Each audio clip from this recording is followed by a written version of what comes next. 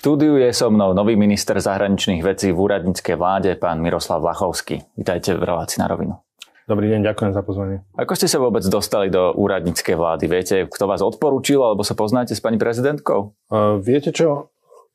Prišla, prišla za mnou s odkazom od pani prezidentky. S pani prezidentkou sa poznám, samozrejme, lebo pani prezidentku som ešte v pozícii veľvyslanca Slovenskej republiky v Dánskom kráľovstve e, mal možnosť privítať, e, privítať v Kodani, takže tam sme sa stretli v roku 2021, ak, ak ma pamäť neklame. A, takže poznáme sa, poznáme sa z tohto stretnutia a, a oslovila ma jej poradkyňa pre e, zahraničnú politiku s odkazom od pani prezidentky, že či v prípade, ak by k tomu došlo, som bol ochotný, ochotný zobrať na seba túto, túto zodpovednosť. A poviem to tak, že ja budem mať v novembri 25 rokov, čo som sa stal zamestnancom a pracovníkom ministerstva zahraničných vecí. Vstúpil som tam 9. novembra 1998 a za tých 25 rokov som spoznal množstvo, množstvo ľudí a viem, akú prácu sme odviedli pod vedením rôznych ministrov, či už ministra Kukana, alebo ministra Lajčaka, alebo ministra Korčoka, alebo ministra Káčera, keď spomen, spomeniem e, tých pre mňa kľúčových. A, a myslím si, že ten, e, ten trend a tie zahranično-politické priority, ktoré sme tých 25 rokov prezentovali, že v tom treba pokračovať. Že je to v záujme, v záujme Slovenskej republiky. Zmeníte niečo, alebo zmení sa niečo na slovenskej zahraničnej politike tým, že e, vlastne ste nový minister, ako nový človek v tom kresle? Pozrite sa, e, jedným, jedným z tých posolstiev, ktoré hovorím aj, aj svojim partnerom, a včera som bol na e, Rade pre zahraničné záležitosti v Bruseli, je, že ostáva kontinuita slovenskej zahraničnej politiky, že ostávame hodnotovou zahraničnou politikou a budeme sledovať e, naše priority a naše záujmy e, v nezmenenej podobe. Čiže principiálne nemienim robiť veľké zmeny v nastaveniach slovenskej zahraničnej politiky, lebo ich nepokladám za potrebné. No a malé zmeny? Alebo zmeníte vôbec niečo? Či stále bude vlastne všetko úplne identické ako pri predchádzajúcich, e, povedzme, dvoch ministroch, pánovi Káčerovi a pánovi Korčokovi? Tak ako... Uh rezort zahraničných vecí je, je samozrejme inštitúcia, kde bežia procesy každý deň, čiže tie úlohy, ktoré, ktoré sú predo mnou, sú, sú vždy nové. Ja si myslím, že náš rezort je dlhodobo, dlhodobo podfinancovaný, že Slovenská zahraničná služba je podfinancovaná a tým pádom v tej konkurencii zahraničných služieb, ktoré tu máme, či už je to Polská, Česká, Maďarská, a ak chceme, ak chceme hrať rovnocennú hru, tak potrebujeme, potrebujeme nastaviť dlhodobo udržateľné financovanie toho rezortu. Čiže to je jedna z vecí, o ktorých e, chcem hovoriť e, a to isté sa týka aj, e, aj investícií vlastne v rezorte. Čiže to je tá úradnícko-byrokratická časť, ktorú ale potrebujete ako predpoklad, predpoklad pre výkon. Že budete klopať na dvere ministra financí a pýtať viac peňazí. Nebudem, klopem. Klopem, už teraz klopem a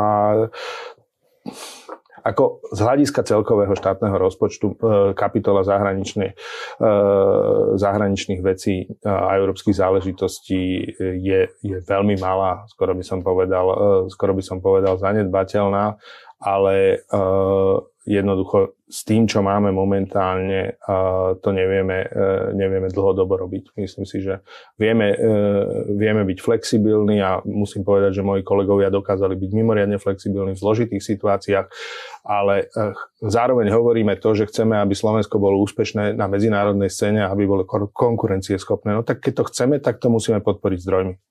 Ako to vyzerá, že to neviete robiť eh, z dlhodobej perspektívy takto? Kde tie peniaze chýbajú? Aby si to bežný eh, poslucháč, divák eh, vedel predstaviť. Čo to znamená, že naši diplomati nemajú peniaze? No, to znamená, to znamená, že tie mm, ambasády, ktoré máme, tie objekty sú podfinancované, že potrebujú rekonštrukcie, že nám tam zateká. To znamená v praxi to, že tým ľuďom viac rokov nerastli platy, že nie sú, nie sú peniaze motivačné pre tých ľudí, ako zvýšiť výkon. Toto v praxi znamená. Keď sa pozriete na svojich predchodcov, tak uh, napríklad minister Káčer mal pomerne, by som povedal, nediplomatický slovník občas, že vyjadril sa napríklad voči uh, Maďarsku, že ak by Rusko Áno, áno raz, raz to volal, že eseistický slovník. Áno, dopoviem tú otázku, že uh, ak by Rusko vyhralo vojnu, tak tu máme maďarské vojska hmm. a prípadné nejaké územné nároky Maďarska, tak ja som to nepovedal presne, som to necitoval, ale hmm. také niečo naznačil, bol za to kritizovaný. V porovnaní s predchodcami svojimi e, to bolo naozaj, e, povedzme, že tých vyjadrení mal viac takých expresívnejších. E, vy ste tento istý typ človeka, budete v tom pokračovať, alebo si myslíte, že toto sa na ministra zahraničných vecí nehodí? Um, moji dvaja predchodcovia vo funkcii, či už Ivan Korčok alebo Rasto Káčer, sú moji dlhoroční kolegovia a priatelia.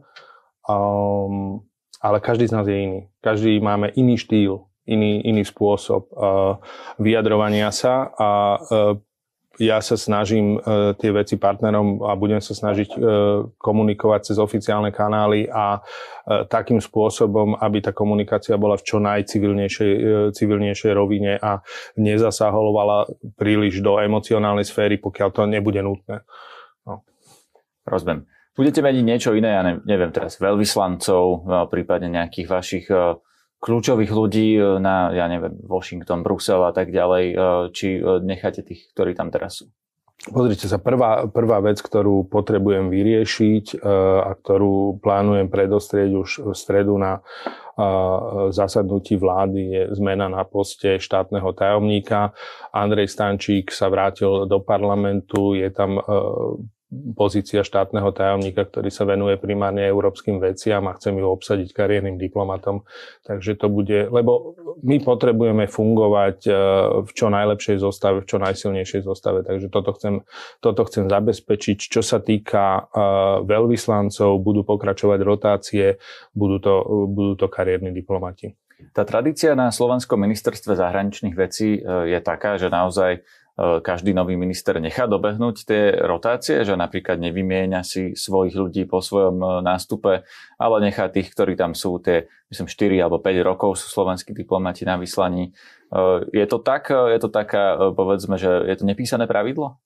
Obvyklá doba vyslania sú naozaj 4 roky, niekedy to môže byť, e, niekedy to môže byť 5, niekedy to môže byť menej podľa toho. Ja som napríklad e, skončil po menej ako 4 rokoch, lebo e, ma oslovil vtedajší minister zahraničných vecí európskych záležitostí Ivan Korčok, aby, že premiér Heger hľada do svojho týmu poradcu pre zahraničnú politiku a ja som mal, vlastne v ten istý rok končiť, tak uh, som skončil trošku skôr, o pár mesiacov skôr, ako by som skončil uh, normálne. To, na čo sa pýtate, my naozaj sme profesionálna zahraničná služba, to znamená, že my sa celkom dobre poznáme.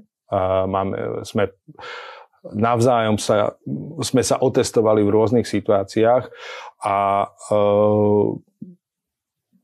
po väčšine prípadov tam tam nie je dôvod meniť, e, meniť tú rotáciu, keď je dobre nastavená. Čiže ja v tomto, ja som bol pri tom, keď e, minister Káčer navrhoval nejaké rotácie e, premiérovi Hegerovi a tým pádom aj ja som o tom vedel a vedel som o, to, o tých ľuďoch a myslím si, že to, čo navrhoval, boli kvalitní ľudia. Rozumiem. Obsahovo e, otázka Kosova je e, taká, ktoré teda e, sú povedzme, že rôzne názory v Európskej únii a vo väčšine toho nášho civilizačného priestoru. Štáty uznávajú Kosovo, Slovensko ho neuznáva, na tom sa nič nezmení? A štáty uznávajú Kosovo a potom je 5 štátov Európskej únie, ktoré stále neuznávajú ano, Kosovo. A Slovensko, 22, ktoré ho uznávajú. Slovensko je, Slovensko je jedným z nich a, a ja som v tomto prípade e, viazaný e, roz, e, rezolúciou Slovenskej, e, Slovenského parlamentu Národnej rady Slovenskej republiky, tak ako moji predchodcovia. A, a my máme úplne e, jednoznačnú pozíciu v tom, že keď sa dokáže dohodnúť Belehrad s Prištinou, tak my vieme, my vieme sa veľmi flexibilne nastaviť.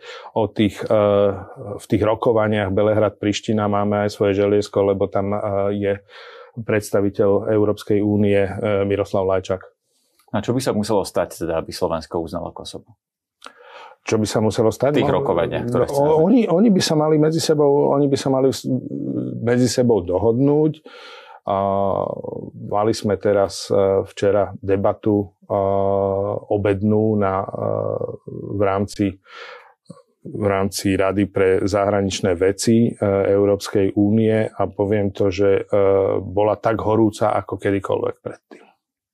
Takže tam nevidíte taký nejaký progres, že by sa to prebehu niekoľkých mesiacov, čo budete vo funkcii zmenilo? Presne to som chcel povedať. Bohužiaľ, toto, toto nepredpokladám, že Rozumiem, by sa dobre. týkalo môjho obdobia. Tak posuňme sa do aktuálnejších vecí. Samozrejme, e, v tej zahraničnej politike je teraz najhorúcejšia otázka Ukrajina e, a Rusko. Tam už ste naznačili, že sa vlastne nič nemení, že Ukrajine budeme ďalej pomáhať. Moja otázka ako jej ešte vieme pomôcť, keď už e, sme teda dali pomerne veľa vecí od tankov, cez stíhačky, e, protiletecké systémy, e, muníciu. E, ja si osobne neviem už ani predstaviť, že čo ešte im môžeme dať. Vy si to viete predstaviť?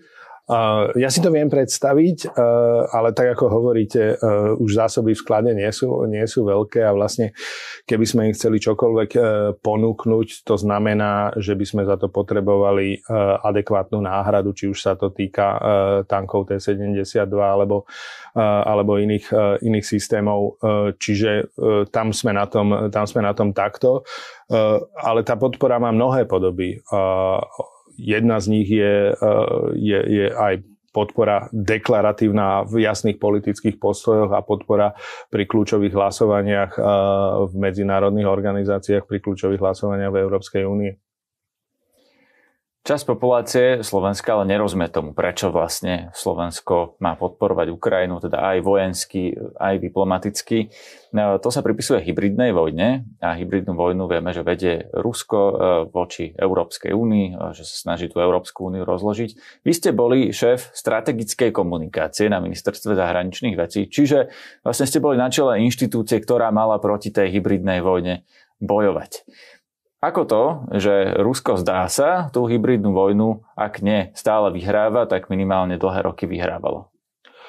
Ak dovolíte, začnem trošku zoširšie, aby som vysvetlil aj ten, eh, aj ten postoj k Ukrajine.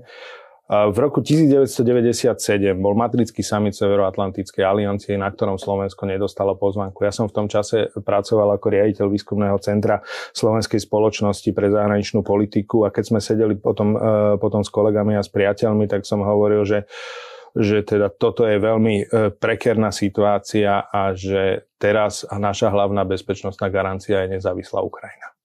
A to som hovoril v roku 90, 97, e, potom ako nás nepozvali. Našťastie my sme ten integračný vlak dobehli. A mysleli Sloven... ste to tak, že lebo je medzi nami a Ruskom? Lebo je medzi, medzi, nami, a, e, medzi nami a Ruskom a lebo tam nejaké tie perspektívy uh, nejakého historického revizionizmu a š- snahy uh, imperiálne Ruska uh, bolo možné pozorovať už, uh, pozorovať už vtedy.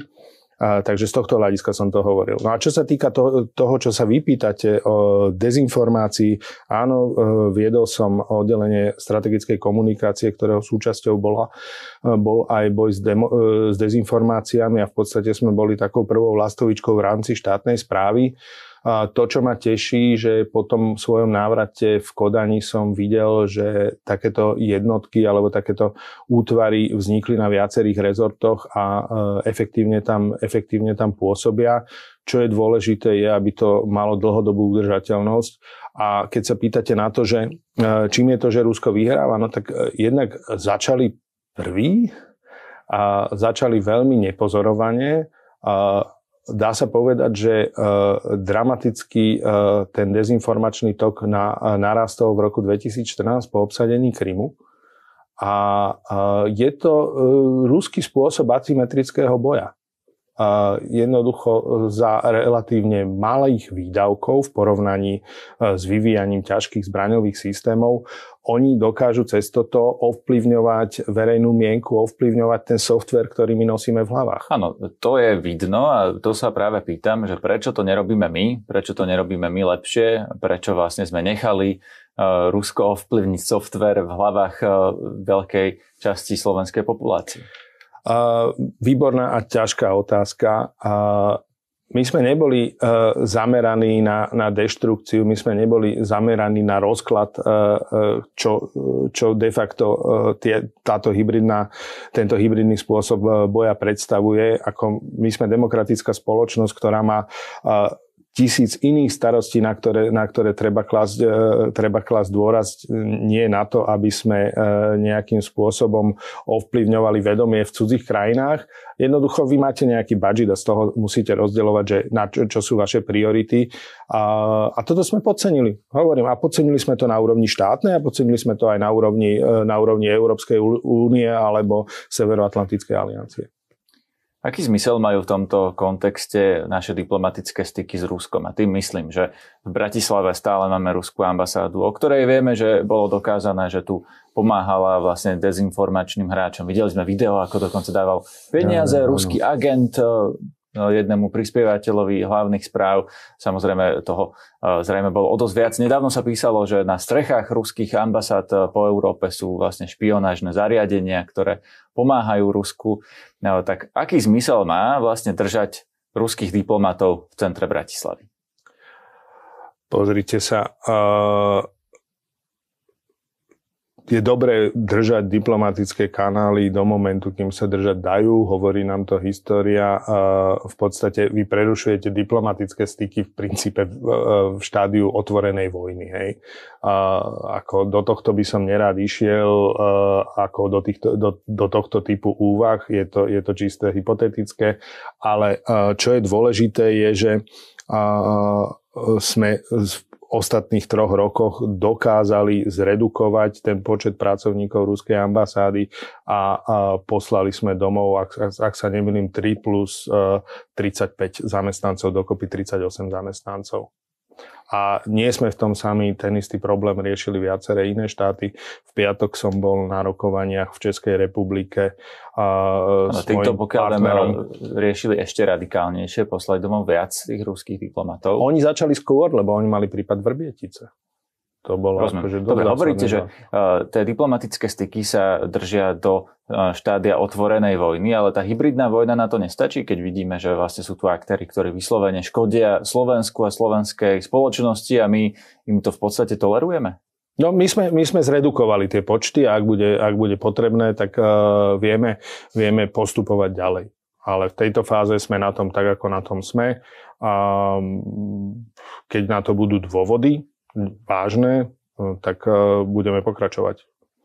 Dobre, ešte ma zaujímajú susedské vzťahy V4, mm-hmm. lebo na to som sa pýtal aj e, vašich predchodcov, mm-hmm. kde mi myslím pán Korčok povedal, že V4 vlastne budeme využívať vtedy, keď je to pre nás užitočné, ale nevidí ju ako nejaký politický celok, že by sme mohli napríklad na úrovni Európskej únie, tak ako to Orbán chce, vystupovať jednotne v rámci V4 že teda jednotlivé individuálne záujmy cestu V4 presadzovať vieme, ale že ten jednotný blok s Orbánom by nám vlastne robil väčší problém ako užitok. Jednotný blok, jednotný blok s Orbánom neexistuje a nie je, to, nie je to zo slovenskej viny. Treba povedať, že uh, vo veľkej miere uh, sa táto politická prezentácia V4, to znamená stretnutia V4 s inými partnermi, prestali odohrávať potom, ako e, traja partnery vo, v, vo V4 majú jednoznačný názor na Ukrajinu a na to, čo sa tam deje a ten štvrtý má odlišný názor.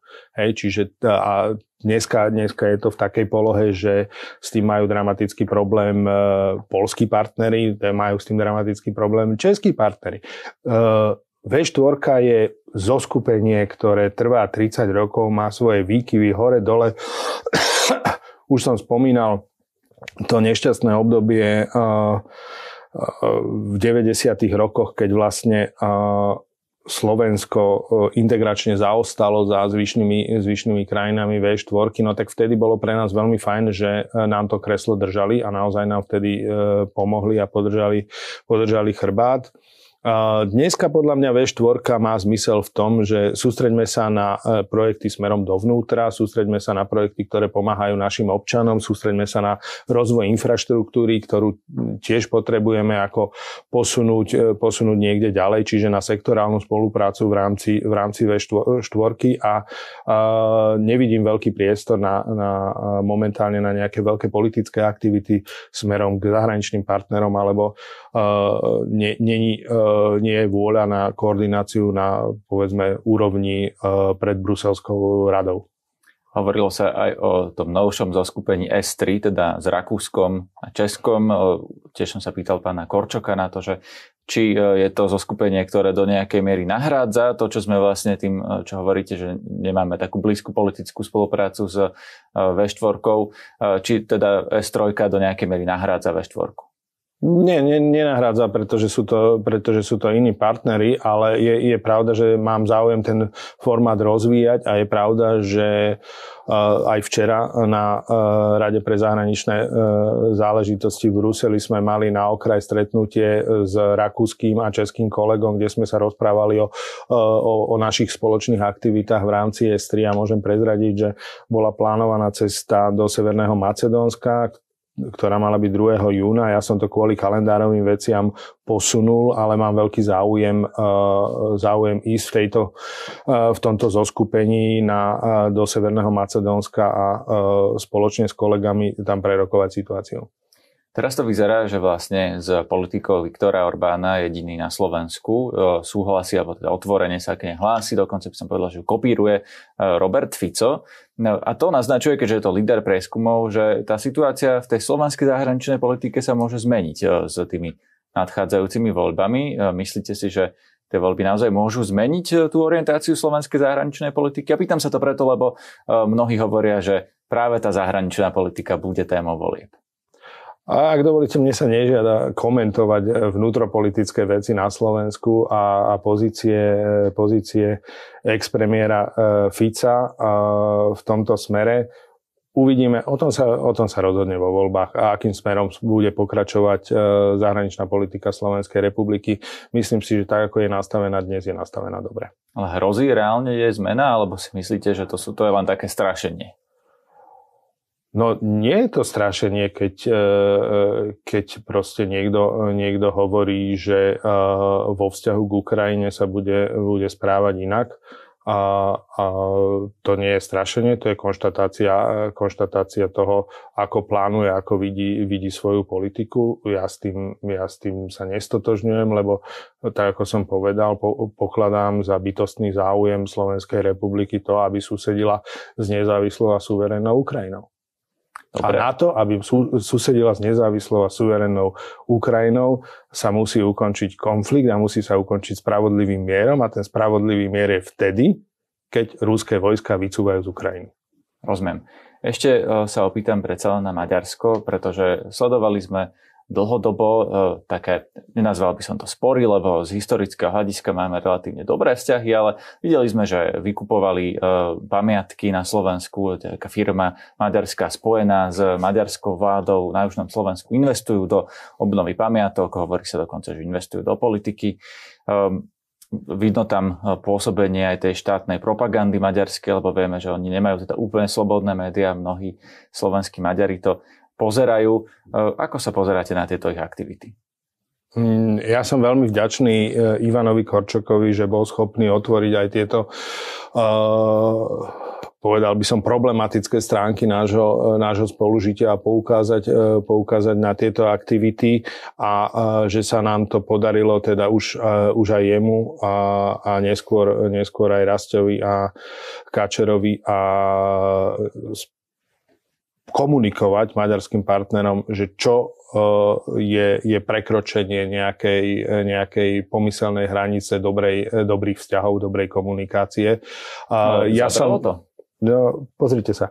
Ja som včera sa prvýkrát stretol so svojím maďarským, uh, maďarským kolegom uh, Petrom Siartom a podali sme si ruky. Povedal som, že uh, som pripravený, pripravený sa stretnúť a že budeme komunikovať obvyklými kanálmi a ne, budeme sa vyhýbať nejakým vzájomným, vzájomným prekvapeniam a poďme sa sústrediť na tie veci, ktoré sa počas, počas šiestich mesiacov nejakým po, spôsobom pozitívne dajú, dajú posunúť, ale môžem vám garantovať, že čo sa týka záujmov Slovenskej republiky, tak ich budem veľmi tvrdo obhajovať.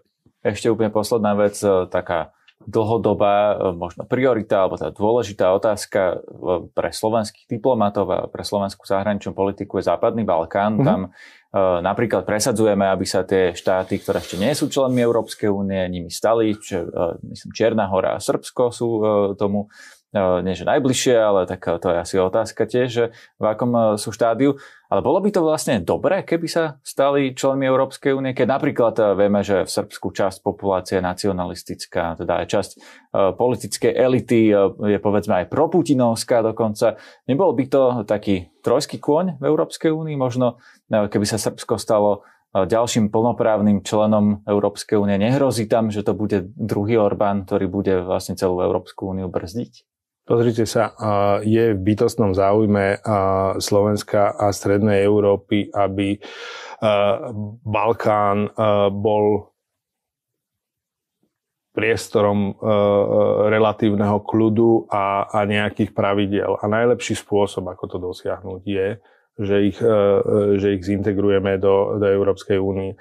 Na to, aby sa to udialo, je potrebné splniť veľa, veľa kritérií a, a medzi nimi aj politické. Včera sme debatovali o tom, že krajiny západného Balkánu, jedno, jedno z tých kritérií alebo jedna, jedna z tých otázok je, do akej miery sa vedia stotožniť e, s našimi stanoviskami v spoločnej zahraničnej a bezpečnostnej e, politike EÚ, no tak tie krajiny majú e, rozdielný výkon v tejto oblasti. Niektoré sú 100%, niektoré sú 50%, niektoré sú 80%, ale na to, aby sa stali e, členmi Európskej únie, naozaj je potrebné, aby, aby sme si vedeli zladiť noty a aby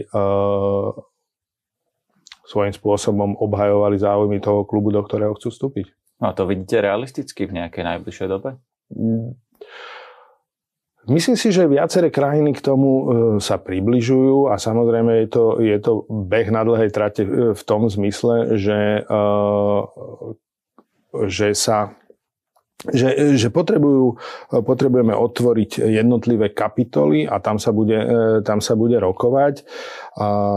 Čiže ako Problém je trošku aj to, že uh, oni sú už aj frustrovaní z toho, že 20, 20 e, rokov hovoria o tom, že sa stanú súčasťou Európskej únie a uh, zatiaľ k mnohému uh, v mnohých oblastiach akože k pokroku nedošlo. Myslím si, že je to z veľkej časti spôsobené tým, ako pristupovali k potrebným reformám, ale z istej časti je to spôsobené aj uh, takou zdržanlivosťou u niektorých, niektorých väčších krajín Európskej únie, čo sa týka ďalšieho procesu rozširovania, lebo aj tá Európska únia sa musí vo vnútri nastaviť na to, aby zvládla väčšie množstvo členov. A to som sa vás vlastne pýtal na začiatku, či teda Srbsko by nebol e, vlastne ten ďalší toxický element, keď vidíme, že Orbán dokáže tam brzdiť e, rozhodovanie, či by toto nehrozilo, e, aj keby sme prijali ďalších nových členov. No, nechajme to na, na, na srbskú, srbskú performance, nechajme to na posúdenie toho, ako sa, ako sa budú správať, a čo, čo nám predvedú, čo nám ukážu.